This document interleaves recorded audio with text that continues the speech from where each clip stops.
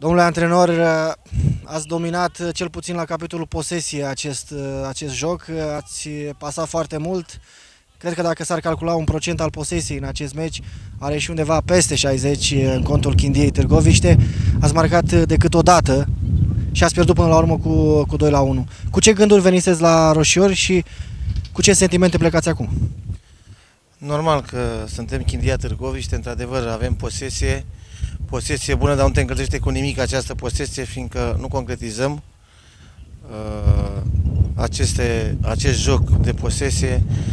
Am, uh, părerea mea, sincer, nu dau vina pe arbitraj, dar părerea mea, golul, golul 2 din penalti nu a fost absolut nimic, iar uh, referitor la joc, într-adevăr, terenul a fost uh, un, uh, un obstacol greu, dar nu avem nicio vină fiindcă am pierdut astăzi. Venisem să, să remediem situația fiindcă într-adevăr eram într-o pasă mai, mai proastă, iată că nu ne-am revenit și încă continuăm această pasă.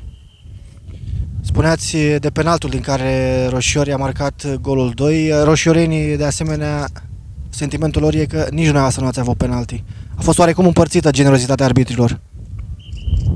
Nu, părerea mea, părerea mea, nu că sunt antrenor la această echipă, la Chindia Târgoviște, dar penaltii nostru se, se acordă, se dă ce am văzut eu. Bine, pot să fiu și un pic, dar uh, golul 2, golul 2 penalti dumneavoastră, în niciun caz nu se dea penalti. Clar, dar uh, ați luptat, ați meritat să câștigați, fiindcă cine se dăruiește și luptă, într-adevăr, uh, ați ieșit victorioși astăzi. Ce se întâmplă cu Chindia? Aveți echipă cu jucători, dacă îi luăm individual, de valoare, cel puțin pentru Liga 3 fără, fără nicio discuție. Ce se întâmplă? E un anumit blocaj la echipă?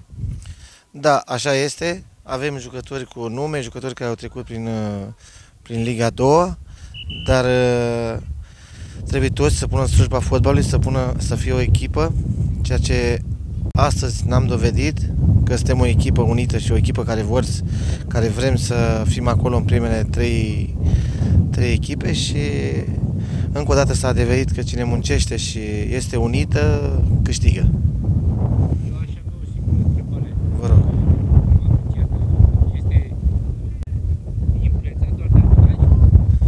După aspectul jocului, după cum s-a jucat astăzi, părerea mea că un egal era echitabil. Fiindcă, deci să nu recunosc că nici noi n-am făcut un joc uh, bun, am făcut un joc de posesie, dar posesia la noi în teren, nu la, în echipa, la echipa adversă.